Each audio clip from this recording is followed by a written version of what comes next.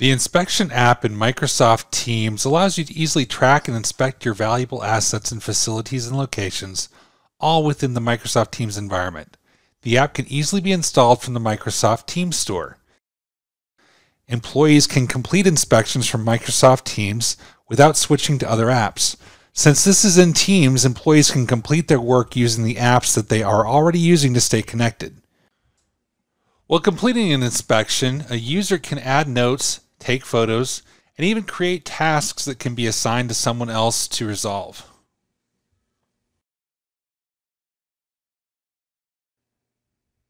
As a manager reviews inspections, they can verify that they're complete and then mark them closed.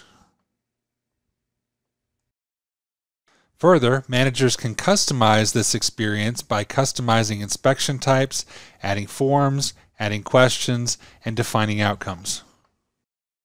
And since the inspection app runs in Microsoft Teams, other Teams functionality such as planner tasks and posting messages to Teams is available to you.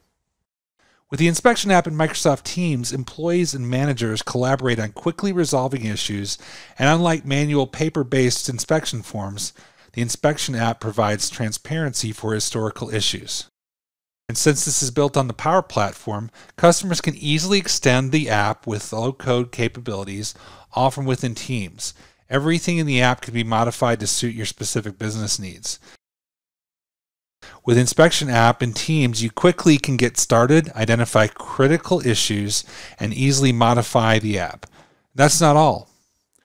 Also available in the Teams store, issue reporting. Quickly capture issues right from Microsoft Teams and review, manage, and act upon them to improve resolution time and transparency.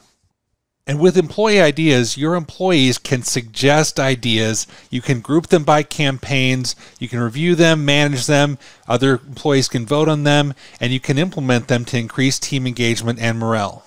To get started today, go to aka.ms forward slash teams inspection.